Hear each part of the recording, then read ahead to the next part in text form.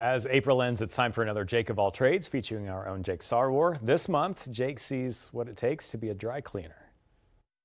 So if you're like me, you probably brought some clothes to the dry cleaners before. But have you ever thought about what it's really like behind the counter and how the process is done? Come on along with me as we find out.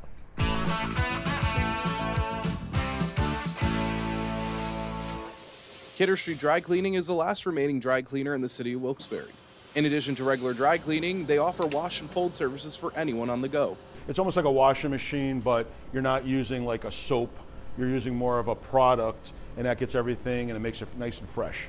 Michael Pantano is a consultant with the business and began showing me around the shop. So you can do it like so that. This is, this is where we put the stuff in, Yeah. and we take it out. Mhm. Then we bring it over here to process it. Okay. Most of the world is fast paced, and many don't always have time to press a shirt or dress. That's where this type of business comes into play. I was put to work to see if I could get the job done. Each machine uses a pressurized system where it clamps down the article of clothing and uses steam. And where do you put the dung? Right up there? Yes. Perfect. Put it right up here. Perfect. Yes. Cool, thank you. Good.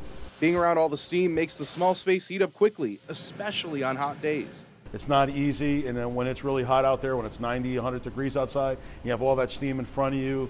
It's hot, so it's a, it's it's a, it's a hard work. Next, I tried out pressing pants.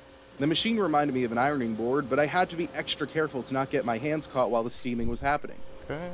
Oh, it's hot. Yeah, it's not good. Yeah. It's like using my steamer at home. Once the pants were done, I hung them up and moved them to be put back with all items that came in, which could be a daunting process. Luckily, the dry cleaners use a specific system to make sure nothing goes missing. They know how to piece everything back together, make sure you get the right clothes back, and yeah, so it's it's a very detailed, oriented business. Before heading out, I was able to carefully bag the clothes to be picked up.